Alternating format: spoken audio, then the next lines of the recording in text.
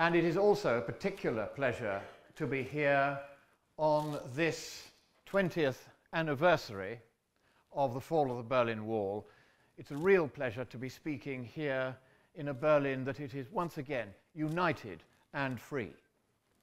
So thank you all for allowing me to be here on this special occasion. I will not do as a famous president of the United States did and, and say, ich bin ein Berliner. I will say instead, ich bin Berlinerisch.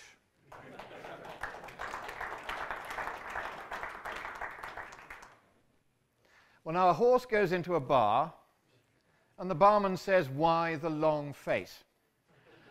because it's a horse, you idiot.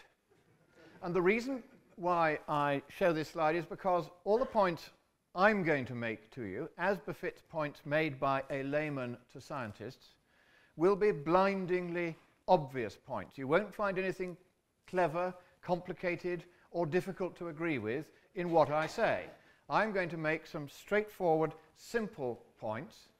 The IPCC likes to make things complicated. I'm going to make them simple again. Now, if we go back a thousand years to medieval Iraq, the gentleman on the banknote that you see there is the father of the scientific method. Abu Ali ibn al-Hassan ibn al-Hussein ibn al-Haytham. And he said, the seeker after truth, and that is what scientists were called in those days, seekers after truth, does not rely upon any consensus, however venerable. Instead, he subjects what he has learnt of it to his own hard-won knowledge, scrutiny, investigation, and measurement. For the road to the truth is long and hard, but that is the road that we must follow. In other words, we're not here to preach. And therefore, please do not believe a word I say. Science is not a belief system. And that is one of the biggest arguments that we in this room have with those who do simply believe everything they are told without checking. In religion, you may do that. In science, you may not. And now I'm going to take a vote. How many of you here believe that global warming is or ever could be, the anthropogenic sort of it anyway, a problem? Right, that's the end of my talk. Thank you very much.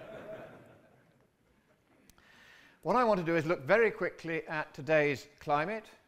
The temperature has been on a falling trend and a very clear one for nine years. And this is an illustration of that from Willie Soon at uh, Harvard. I'm very grateful for that. The sea ice in the Arctic, which the greenies were talking to me out about there, I said, why do you believe in this global warming stuff. Oh, the sea ice in the Arctic has been disappearing, they said.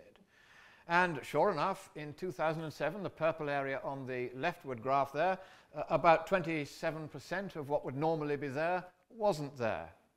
NASA said at the time this was caused by exceptional winds and currents from the Arctic, nothing uh, from the tropics, nothing unusual. And as you can see in 2008 in the middle, 2009 on the right, it has re-established itself almost entirely back to its normal level. But at the same time, as the Arctic ice reached its 30-year minimum, and of course we've only got 30 years of records of the ice extent at either pole because it's only the satellites that can give them to us, literally three weeks after that sea ice minimum in the Arctic, there was a sea ice maximum for the 30 years in the Antarctic, where indeed there's been a generally rising trend in sea ice extent over the last 30 years. So whatever else caused that temporary loss of ice in the Arctic, it cannot possibly have been global warming, can it? And here is the heartbeat of global sea ice extent. And if you had a heartbeat as fit as this, you would be passed as a well man. Now here is Greenland, where we hear that the ice sheet is collapsing into the sea. Well, Johannessen et al. in 2005 published a paper in which, by using a very old-fashioned, very well-tried and tested method, satellite altimetry, they found that the ice was in fact thickening at 5 centimeters per year. I was so intrigued by this, I got the Department of Defense in the United States to send me these photographs. Two on the left are of the DEW Line radar stations as they were 35 years ago when they were in operation, on the right as they are now. Sometimes the Mark 1 eyeball is quite a good way of verifying whether the laser altimetry or the rather eccentric readings from the gravitational anomaly sat satellite are the right ones. Eurasian snow cover. This is what actually supplies uh, the water supply of a quarter of the world's population. Not the melting ice from glaciers, but the snow cover. It shows no trend throughout the last 40 years in any of the five vital winter months. That's from Rutgers University Snow and Ice Lab. Hurricanes also doing very nicely, thank you. Just a few weeks ago, the uh, combined frequency, duration and intensity of hurricanes, typhoons and tropical cyclones all around the world reached its 30-year low. Not exactly consistent with alarmism. Here is the record of temperature change in the area around the Great Barrier Reef. So if anybody tells you that the corals in the Great Barrier Reef are being destroyed by global warming, no, they're not. There's been no trend in sea surface temperatures in that area at all. So that then is a picture, I put it to you, of a normal, healthy climate which is changing a little bit here, changing a little bit there, changing back again. Nothing exceptional, nothing unusual, just as Professor uh, Singer has just said. So why then is there this worldwide bedwetting about the climate?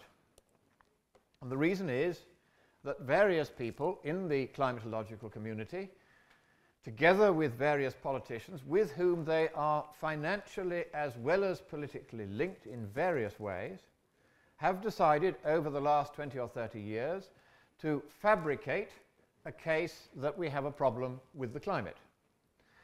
You may have heard of the publication recently by a whistleblower at the University of East Anglia of thousands of highly compromising emails between all of the leading scientists who have been part of this conspiracy to tamper with the scientific data and whose activities I have been following with some interest for the last two or three years.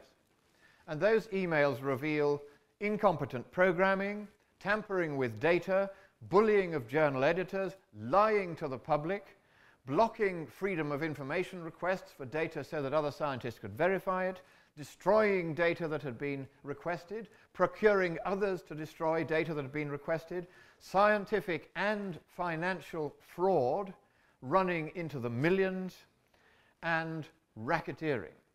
That is what these emails reveal, but not if you believe Nature, which said, well, this is a storm in a teacup, and the whole thing is the only reason why these people behaved in the least bit in the way that scientists shouldn't is because they were under pressure from all those nasty denialists and skeptics.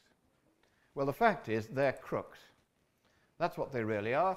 I call them the traffic light tendency. They call themselves green because they're too yellow to admit they're really red. this is the kind of thing they circulate. This was actually used as part of a lecture given at Lloyd's of London three weeks ago. I'm sorry, I'll try and get that to come back. Yes, there it is. The, it shows the Houses of Parliament being flooded by the waters of the Thames surging to new and exciting heights. And my question is, your problem is? We'd just love to see the Houses of Parliament destroyed. So here then, I'm going to take just a few of these crooks and we're going to look at what each of these crooks has done. I'm going to show you what their crookedness is because this is an organized, systematic, scientific fraud. All the names you see on there, this is only a selection.